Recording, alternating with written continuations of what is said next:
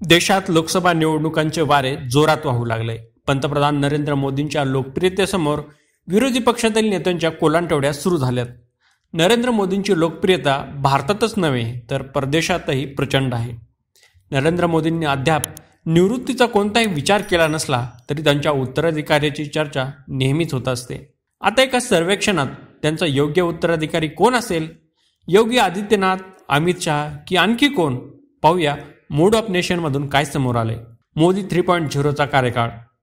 दोन हजार चोवीसच्या निवडणुकीसाठी भाजप पंतप्रधान नरेंद्र मोदींच्या नेतृत्वाखाली मैदानात उतरणार आहे. महत्त्वाचं म्हणजे खुद नरेंद्र मोदी यांनीही आपल्या तिसऱ्या कार्यकाळाचा अनेक वेळा दावा केलाय.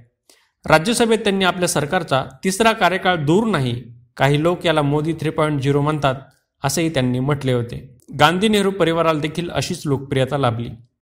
दोन हजार चौदा नंतर झालेल्या प्रत्येक निवडणुकीत पंतप्रधान नरेंद्र मोदींच्या लोकप्रियतेचा मोठा फायदा भाजपला झाला आहे आज त्यांच्या तोडीचा नेता राजकारणात नाही असे म्हटले जाते. एकेकाळी पंडित जवाहरलाल नेहरू इंदिरा गांधी आणि राजीव गांधी यांनाही अशीच लोकप्रियता लाभली होती. त्याच्यासमोर कोणत्याही विरोधी पक्षातील नेत्यांचा निभाव लागत नव्हता. आता नरेंद्र मोदी देखील त्याच मार्गावर आहेत.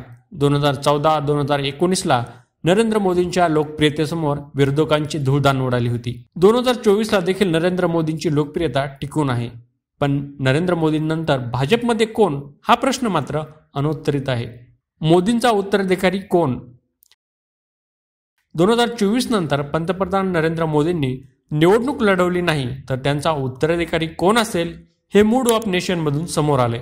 पंतप्रधान नरेंद्र मोदींचा उत्तराधिकारी म्हणून गृहमंत्री अमित शहा उत्तर प्रदेशचे मुख्यमंत्री योगी आदित्यनाथ यांच्याकडे पाहिलं जातं. इंडिया टुडेच्या मूड ऑफ नेशन सर्व्हेमध्ये नरेंद्र मोदींचा भाजपमधील उत्तराधिकारी कोण असेल असा सवाल विचारण्यात आला. यामध्ये अमित शहा आणि योगी आदित्यनाथ यांच्यात कडवी टक्कर असल्याचं दिसून आलंय.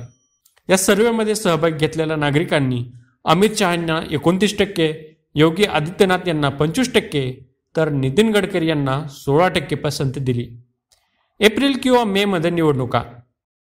महत्त्वाचे म्हणजे सतराव्या लोकसभेचा कार्यकाळ सोळा जूनपर्यंत आहे. यामध्ये एप्रिल अथवा मे महिन्यात लोकसभेच्या निवडणुका होऊ शकतात.